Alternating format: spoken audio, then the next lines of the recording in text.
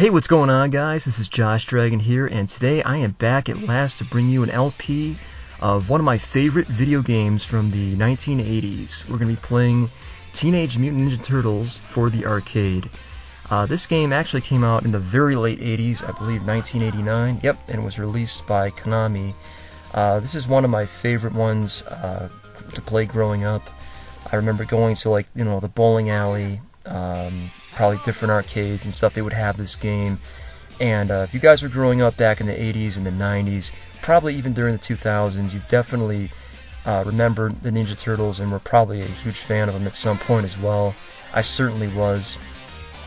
And uh, this game uh, is actually only one year older than me, so it gives you an idea about how old I am. But um, I'm going to talk a little bit about my experience with the Turtles in this video and my experience with them goes all the way back to before I was even in preschool, actually. I remember going over to a friend's house when I was probably about three years old, and he had a whole bunch of the Ninja Turtle toys. He had like the van, I think he had the Technodrome, um, and they had a whole bunch of accessories and stuff. If you guys were around at the time or you've seen pictures or videos of those things, and you know what I mean. You know, they had so many different types of toys and uh, that really got me into it quite a lot. Because all my friends seemed to have these toys and they were really really cool looking. And uh, little did I know the turtles had been around for kind of a long time. And um, were actually I would say they were kind of fading a, a little bit in popularity around that time. And there was a new TV show which you guys probably remember called Mighty Morphin Power Rangers uh, that had either just come out or you know had recently come out, and that show just took off like you would not believe it. I mean, it, it was so popular. All the kids uh, loved the show. Um, I was never a huge fan of Power Rangers, but I did watch it uh, growing up a little bit. I liked the Turtles way better, but uh, all the all my friends were really into Power Rangers, so I was kind of one of those situations where, um, you know, they were like, well, you got to get out of the Turtles because Power Rangers is a new thing. So I'm going to interrupt my story here for a minute because we were at the first boss of the game, which is Rocksteady. And for a first boss, he's actually pretty difficult. He has a variety of different moves that he can use against you, and he's pretty aggressive, so he's going to uh, kind of follow you around a lot. The room that you're fighting him in is kind of smaller a little bit, which makes it tougher and what I would recommend doing for him is you want to hit him a couple times and move away quickly. There is a more advanced strategy you can use if you have Leo, Mike, or Don because they have the uh, slash special ability which Raph doesn't have. Um, so I don't really know how to fight him as effectively with Raph, but I would just probably recommend doing that. Him a few times and move away. Once he starts blinking like this, he's almost dead. So there we go, he's down and out. And uh, uh oh, there's Shredder. He's taking April away.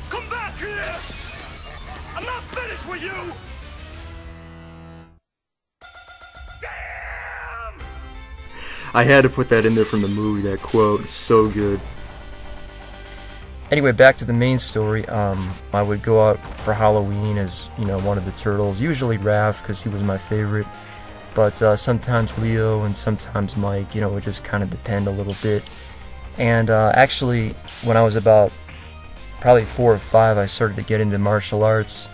And a large contributing factor to that was the Ninja Turtles, and also was probably, uh, you know, to be honest, Tommy Oliver from uh, Power Rangers as well, and uh, the Red Ranger. I also quite liked the Red Ranger, uh, the original one, so that got me interested in in doing martial arts. And um, for me, I loved karate. It was one of my favorite uh, childhood memories. Was just going to do, uh, you know, karate a few times a week, and um, it's really cool when you have something like this that gets you into it at such an early age. So this level is pretty simple and it's pretty straightforward. You've now got these yellow boomerang throwing foot soldiers and man there are a ton of them over here. Uh, the one thing that I will recommend for them is to try to get in close to where they're at and you can beat them up pretty fast. Not that likely to, you know, they don't seem to punch you as fast as some of the other ones do. Um, but if you get you know, further away from them, they're really nasty to deal with because they can hit you with that boomerang. So just try to take them down quickly, I guess, is what I'm trying to say here.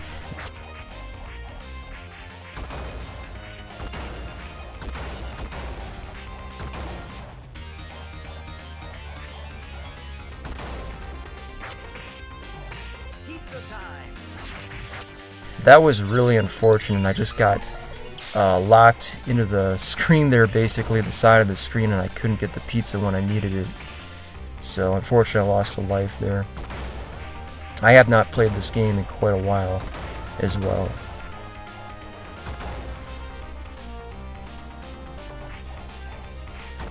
So I think this was actually the first...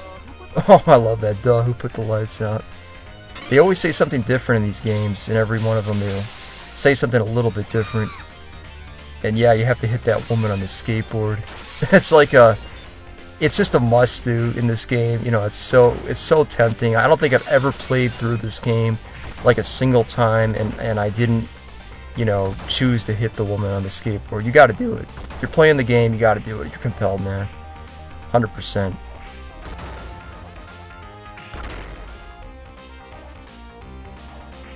Uh, we're almost through with stage two. We're coming up on Bebop pretty quickly. We've got a couple more foot soldiers to deal with here.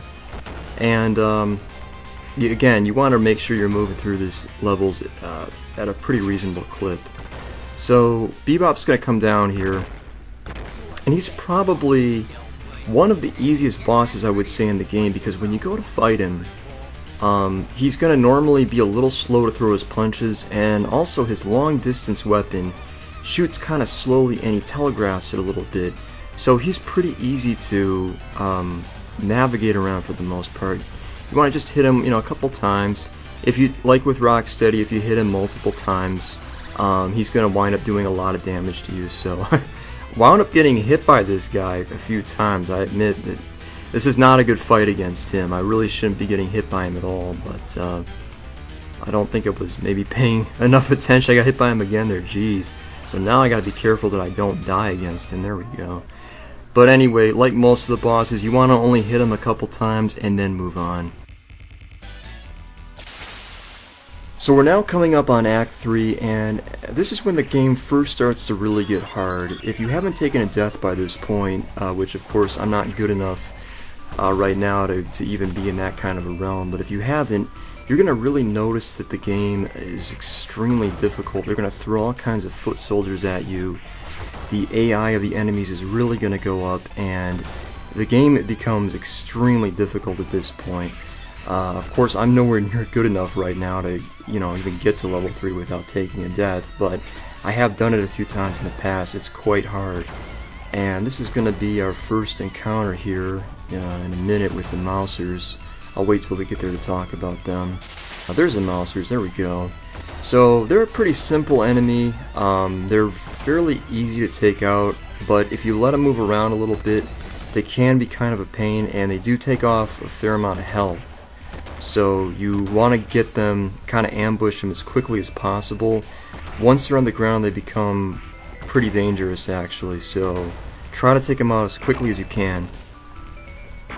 I've got a few more of them here. Just gonna move up and take them out.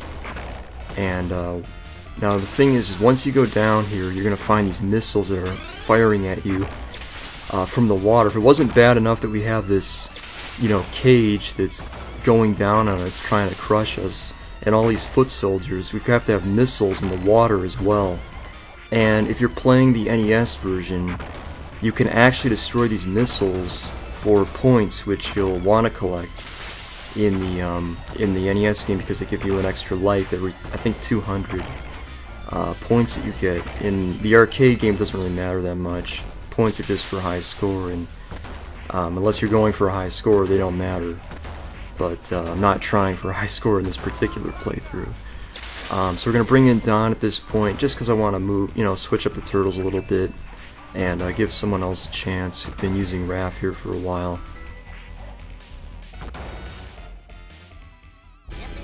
And here's our third boss, which is Baxter Stockman.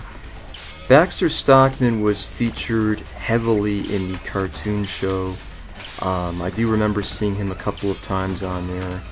And uh, the Mousers are his invention. He's a very, very easy boss fight in the uh, NES game at least. Um, he's actually pretty easy here too, but I would say that maybe he's a little tougher than Bebop, I'm not quite sure. Uh, for those of you, of course, who are too young to have seen the uh, kid show, the Ninja Turtles show, the original one, it was on back in the uh, late 1980s and into the mid 90s. Uh, I think it spanned for about eight or nine years. It was really popular. A lot of people to this day even remember it and um, uh, was something that I, I, saw kind of at the tail end of its run. I saw the last maybe year or two of it, and uh, was so disappointed when they canceled that show because I'd love to uh, to watch it. But um, I know they've made a whole lot of other ones since then. I've never seen any of them. I kind of fell into that group that was in between the original show and was maybe just a little too old for the second 2003 version. Didn't interest me at the time when that one was on. So this is a really interesting level because there's going to be these cars in the background that'll periodically come out at you and you want to be careful because it's only certain cars that are actually going to move out to hit you. The first one that we're going to encounter here is this blue one.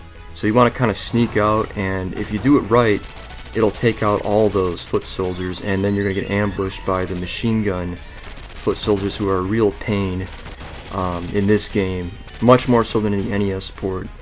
So you want to make sure that you take them out fast, and uh, we're going to use Don again here.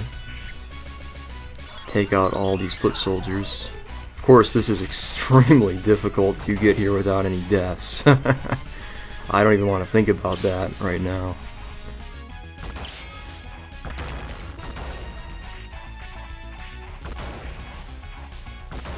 This is uh, an interesting part that we're coming up to here. This is going to be a rematch with both Bebop and Rocksteady, which they changed for the uh, NES game, of course, because they probably couldn't, you know, do this given the limitations of the time period. But this is a very difficult fight probably one of the hardest ones in the game. And the reason it's difficult is just that you're fighting them both at the same time. Um, I very rarely am able to beat both of these guys without taking a death. I'm sure I probably won't be able to do it here.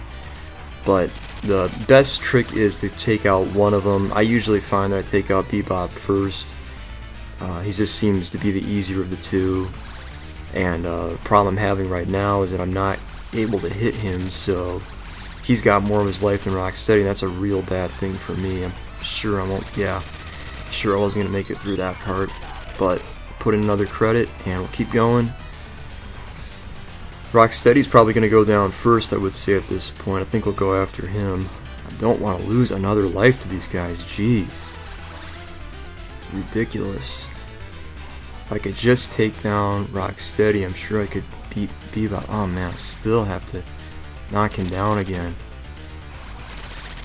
This is gonna be tough. Yep. Yeah, I couldn't do it unfortunately on that one. Kind of a bad run for me on these guys. But this is not an easy fight.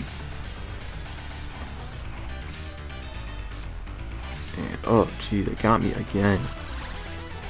Come on, This he still won't go down. It's ridiculous. I don't, not another life. Oh my god. I just lost three lives to these guys. This is ridiculous. Finally, he goes down. And now Bebop's flashing. Alright, so now this will be easy now, because there's no Rocksteady to, you know, back him up, so to speak.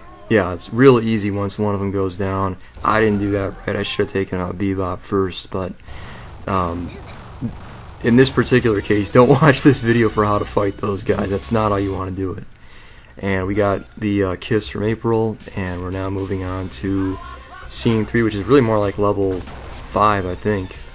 But uh, in either case, moving on to the Highway level. Highway level is pretty tough I would say I think it's the longest stretch of um, fighting in the game in terms of the foot soldiers and stuff like that. It's pretty long. It feels long. Uh, it feels especially long in the NES game. But uh, I, the biggest danger here is really the spear guys. There's a lot of them. And uh, this is the first time we're going to deal with the bomb throwing ninja foot soldier guys. We got a bunch of these roadkill Rodneys because we have two turtles on the screen, so they're going to give us a few more, why not? And, um, not really that big of a deal, but, uh, they can be a dangerous enemy, just kind of depends on the circumstances. Probably going to wind up losing one of the turtles here. I might not bring Mike back. And, uh, for the next one. And actually, I think we've been through now most of the foot soldiers that we're going to see in this game. Been through a lot of them at least. The bike foot soldiers, I don't know if you can kick them off their bikes or not. You can in the uh, NES game. In fact, there's a very cool trick you can do to get as many lives as you want in the um, in the NES game, which I did uh, an LP on that back in 2014 or 2015. You can check that out if you want to learn that trick. I would recommend checking out that video. Um, I brought Mike back because he hasn't really I don't know, he hasn't beaten that many foot soldiers. I wanted to bring him back, you know, he's he's got to do better than that before I bring in someone else. I still haven't brought in Leo yet, and Leo is actually my favorite uh, of the turtles, at least today, so I'll probably be doing that soon. But yeah, you can tell right there, I mean, the foot soldiers with the spears are really a nasty enemy. Very tough. And not handling that guy super well, but got him off the screen. Still, wow, he's still going. There we go. Got rid of that white foot soldier. Three more of these guys with a hammer. Never a fun enemy in this game. Um, I think if there's one criticism I would probably make for this game, it's that I don't like the move set as well on this game as I do on the NES, and um, I, I don't know, I feel like that kind of adds a, level of challenge here because I don't feel like I can really comfortably attack the enemies sometimes. I mean, in certain cases, like with that, it works great, but there's other points where I don't feel like uh, I, I, really make solid contact with the kicks and stuff, and you're kind of in a vulnerable position afterward because the enemies aren't um, you know, they're not stun locked uh, well enough that you're able to recover from the, the move that you did because in many cases when you're playing this game you're going to have to hit an enemy multiple times. I think the only two enemies in the game that go down with one hit are the um, the mousers and then an enemy that we're going to encounter in the next level here, the, the little blue helicopter guys most enemies require multiple hits, at least three or four hits, so it's hard to, you know, even find a point where you can use these jump kicks. And a trick you can do in this level, which is pretty cool, which I did not do correctly here again, is you can actually uh, not kill off all those foot soldiers and you can simply run to the end of the level and uh, you won't have to fight these guys who are dropping the bombs. These are very hard enemies by the way. Probably the toughest enemy in the game, I would say.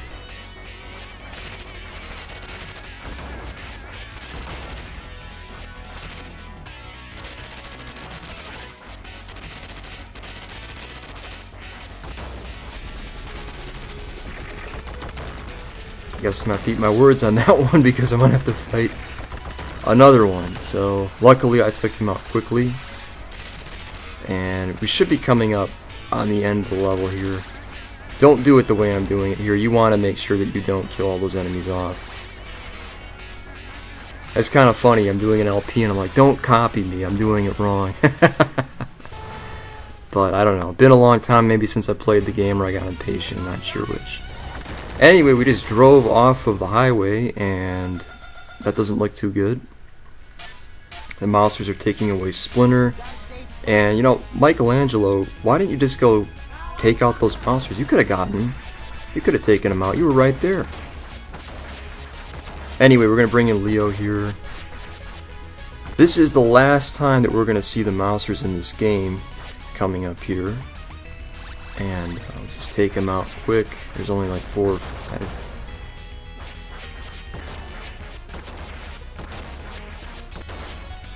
There's actually an enemy that they had in the, um, oh, that feels so good to take out those foot soldiers with the spears like that. God, it feels good to not have to fight those guys. Only have one of them now.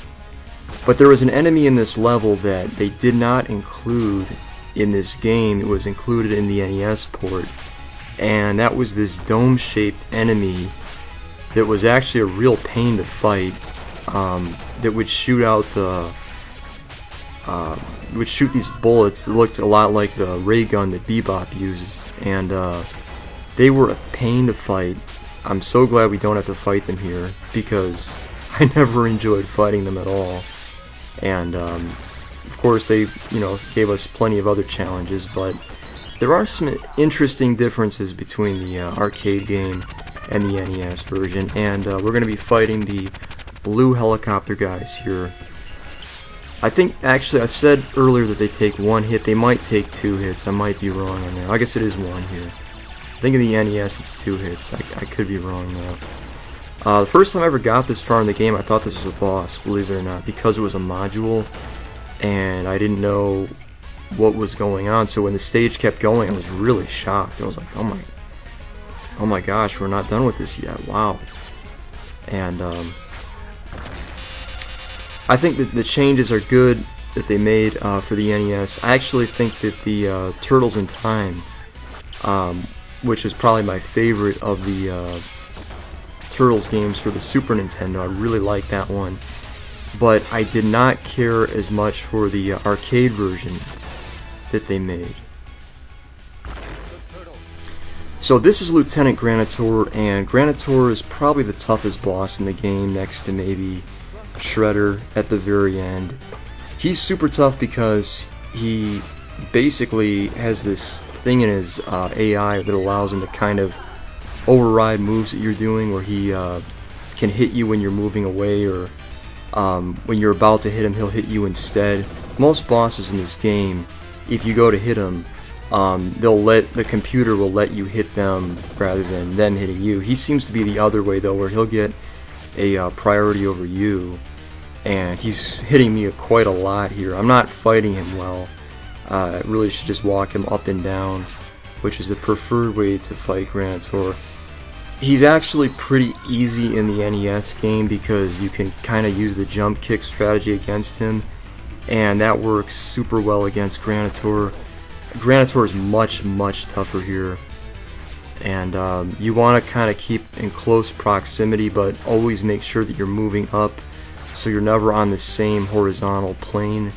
Uh, if you are you're gonna be in a lot of trouble against this guy. He's really strong takes a ridiculous amount of hits uh, has priority over you in terms of his attacks and he's taken off at least two lives I think three lives now I haven't been counting but quite a few here I said it earlier and I'm going to say it again. Do not fight him the way I'm fighting him here. I'm going to have to do another LP of this game, why not? it's my favorite one anyway, and um, I could probably do a, much better job. I know I can do a much better job of fighting him, so maybe I'll do that. I'll do this game again and show you guys the correct way to actually fight some of these bosses. But um, first time I got to him in the NES game, he destroyed me. I mean, it took a lot of practice to beat Granitor. He's very tough, takes a lot of patience, uh, and you got to be pretty consistent when you're fighting him. It doesn't really matter too much here because this is a name. You just put a, another credit in, you're good to go, so to speak. And finally took that guy down. See, he just takes so many hits.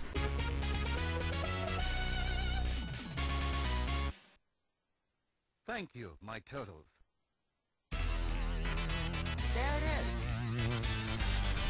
Going inside the Technodrome. We gotta find the Technodrome. I think we just found it. Maybe I'm wrong, I don't know. Alright, we gotta bring in all the turtles. We're gonna do something special here. we're to get everyone involved. Haven't done that yet, but uh, we're moving on to the last full level in the game. We got to get everyone involved for this. We got Leo, Mike, Don, Raph. Everyone's out, and we are going to be facing so many enemies. Jeez. Look at this. They just throw everything at you. So look at all the roadkill rod Rodneys. I'm so excited I can't even talk right. There's like five of them on the screen right now, and all these stupid spear guys. And the lag is, you know, of course, because of the amount of enemies on the screen is just crazy. Um, I'm just doing this for fun, but to actually try to do this in an actual arcade, I can't imagine that. It, you wouldn't go anywhere. You would just throw away quarters like this. But uh, it looks cool. It really does. But uh, you wouldn't get very far. Can you look? Imagine that. The machine comes up, it freezes two or three turtles, and you know that's half of your life. So this is a well, maybe not half your life, but it's a significant amount of your life that it would take off. This is a pretty difficult level. Um, you got to be pretty careful here. We've got some of the balls. This will be our uh, second and final appearance of these rolling black balls. They're very easy to navigate around. Um, we should have some pizzas down here. And we're going to have a ton of foot soldiers on this part. Oh yeah. The machine gun, foot soldiers, and more roadkill Rodneys because five wasn't enough. We got to throw in another five. And uh, luckily they threw in some pizzas, which we're going to definitely need. Because this is chaos, basically. Just enemies everywhere. All over the place. Um, I don't know if they ever made a toy out of the Roadkill Rodneys. That's a that'd be an interesting thing. I don't think that they did for some reason. And you know what else? They never made a toy, I don't think, out of um, Granitor. Which I never understood why, because um, I, I thought he was one of the more popular villains, but may, maybe I'm wrong, I don't know. Um, I don't really remember ever seeing him on the show, but uh, it does kind of surprise me that they didn't do that. Alright, so this is General Traag, and uh, he is the third last boss in the game.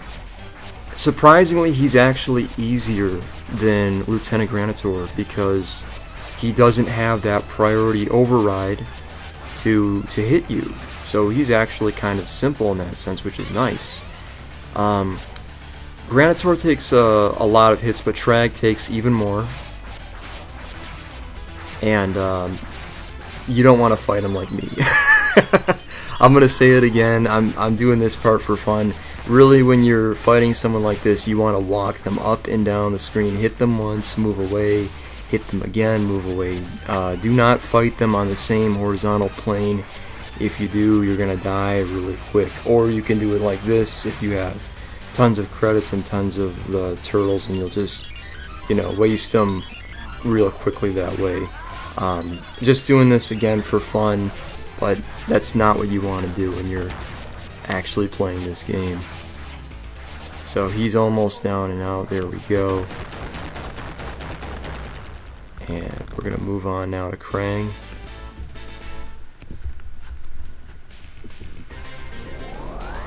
Alright, so we're now taking on Krang, and uh, I'm going to give you a little uh, secret about him.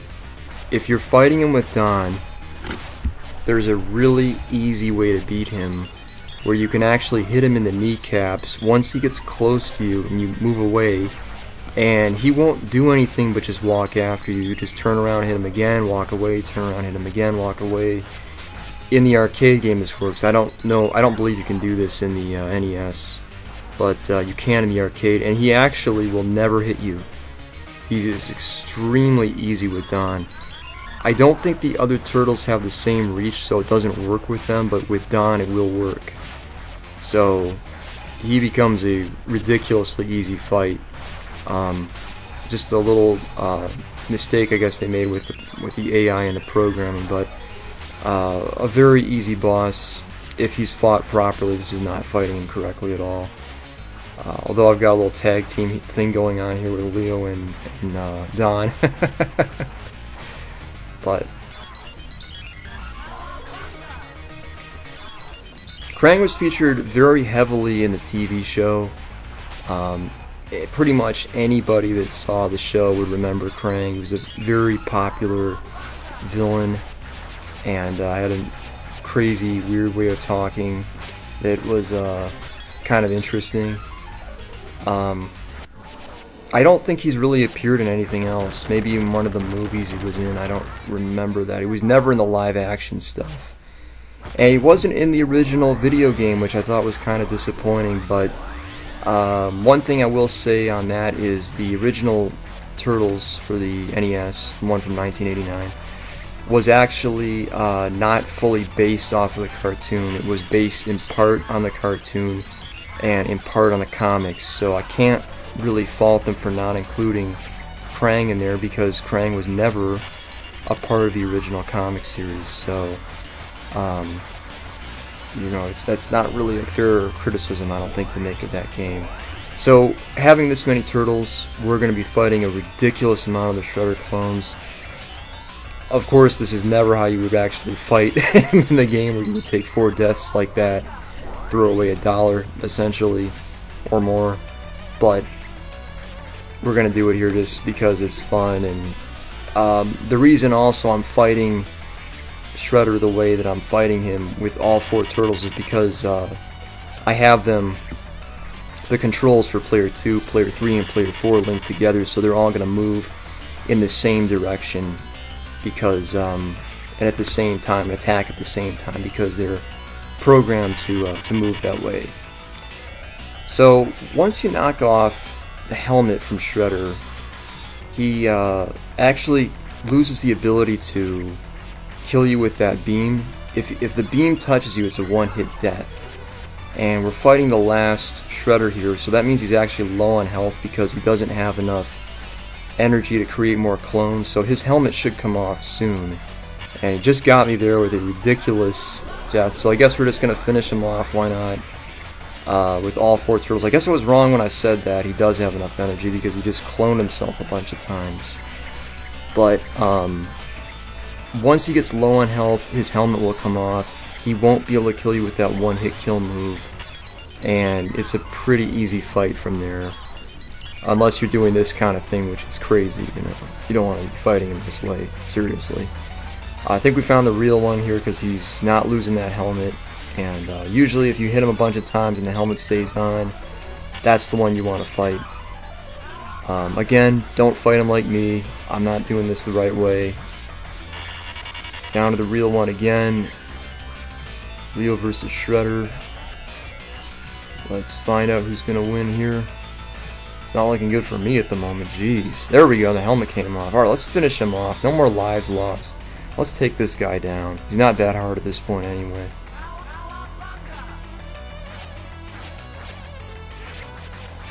There we go.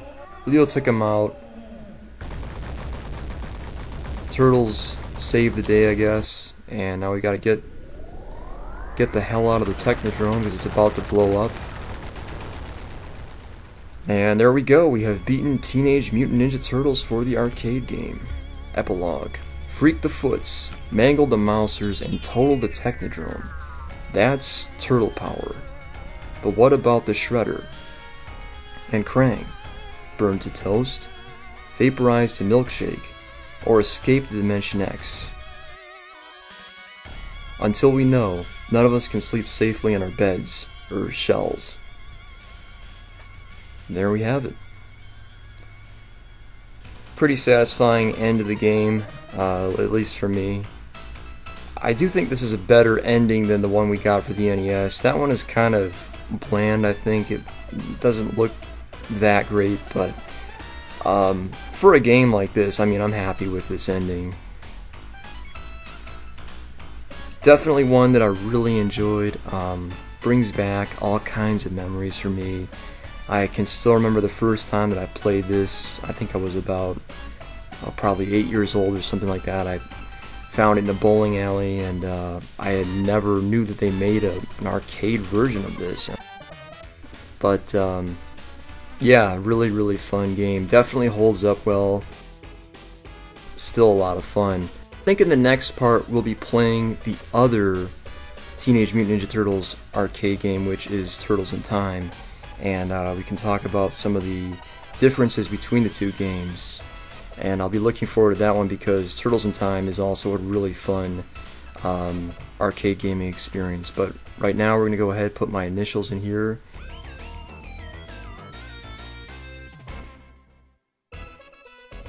Which is JD.